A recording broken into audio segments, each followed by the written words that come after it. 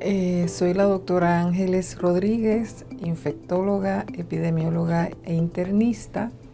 Trabajo aquí en el Centro Latinoamericano de Enfermedades de Transmisión Sexual y vamos a hablar sobre el peligro de las perforaciones y los tatuajes en el posible desarrollo de infección por hepatitis C.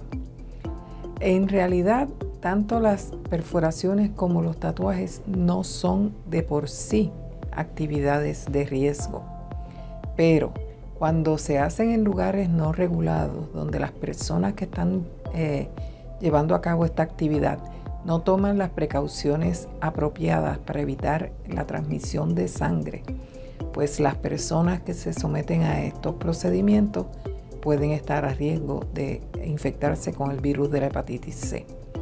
El virus de la hepatitis C tiene una característica y es que necesita un inóculo pequeño para producir infección. ¿Qué quiere decir esto en arroz y habichuela? Que a diferencia de otras infecciones como podría ser el VIH, la cantidad de sangre que se requiere para producir infección es mucho más chiquita en el caso de la hepatitis C porque tiende a correr con cargas virales bien altas. Eso lo que quiere decir es que la cantidad de virus que hay en una gotita de sangre es bien alta y que si uno entra en contacto con esa gotita de sangre a través de algún sitio por donde pueda llegar a nuestro torrente sanguíneo y reproducirse y causar infección, pues es mucho más chiquita que con otras infecciones transmitidas por sangre.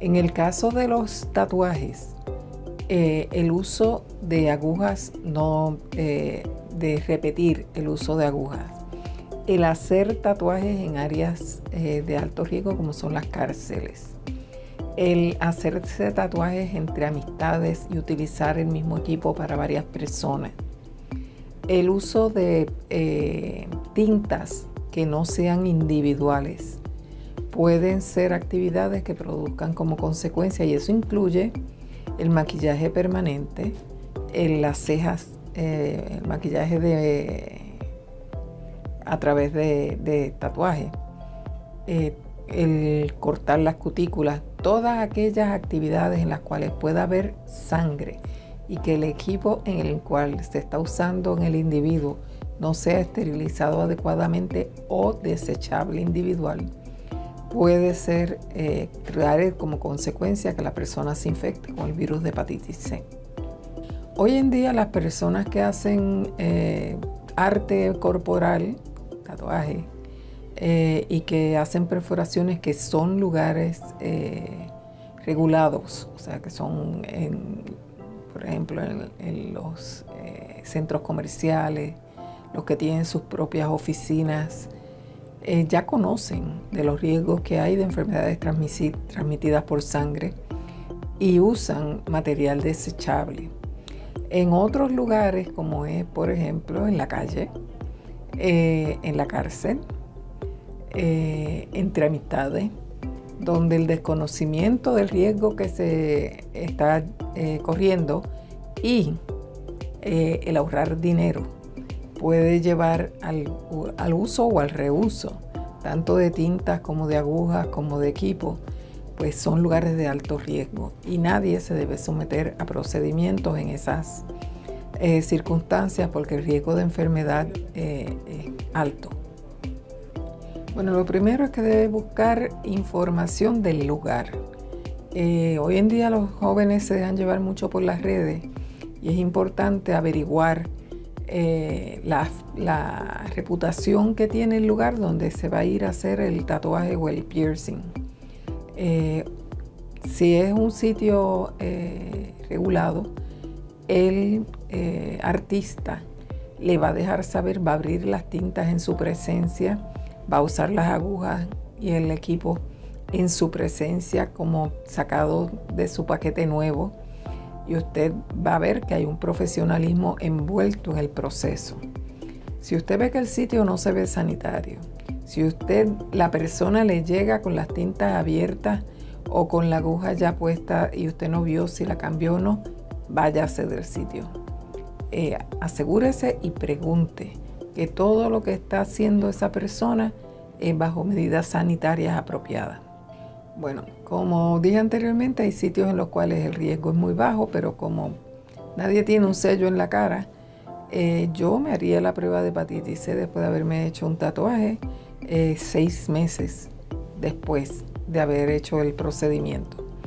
Eh, hago la recomendación de los seis meses porque ese es el tiempo que toma el cuerpo en si usted se infectó con el virus de la hepatitis, en curarlo si es que su cuerpo lo cura.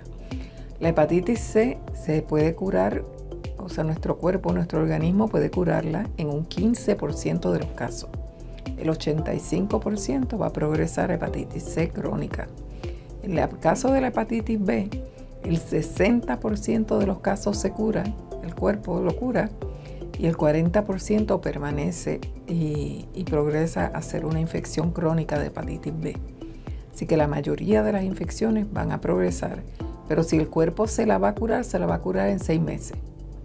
Así que ya después de los seis meses, si usted permanece eh, positivo a la prueba, usted ya tiene hepatitis C crónica. No le va a dar síntomas. En muy pocos casos, menos de un 15%, la hepatitis C aguda puede producir ictericia, o sea que la persona se ponga amarilla. Pero eso es poco común. Como le digo, un 15% de los casos. El 85% de los casos usted no va a tener ningún tipo de síntoma. Puede ser que se sienta cansado, eh, puede ser que tenga eh, dolor en el área del hígado.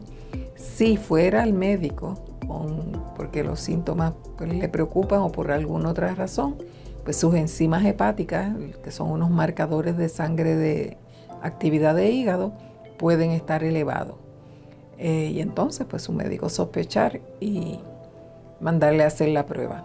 Después de los seis meses, ya cuando pasa a ser hepatitis C crónica, a menos que tenga otro factor de riesgo adicional, la hepatitis C en la mayoría de los casos no va a presentar eh, evidencia de inflamación eh, como alteración de las enzimas hepáticas. Y en ese caso, pues puede tener y transmitir la infección por años antes de que por alguna razón se haga la prueba y detecte que tiene la infección. Pues repito, como dije anteriormente, es muy importante que si usted toma esa decisión, vaya a un sitio que tenga una reputación impecable, asegúrese de que abran las tintas, cambien la aguja y hagan todo con uso de guantes bajo condiciones sanitarias, que la persona tenga experiencia y haya eh, reviews eh, de la gente que ha ido a hacerse los tatuajes, de que la persona es de confianza. Si no, pues es un, es un riesgo terrible y necesario. Y pues también exhorto a que las personas que están en la cárcel no se hagan tatuajes.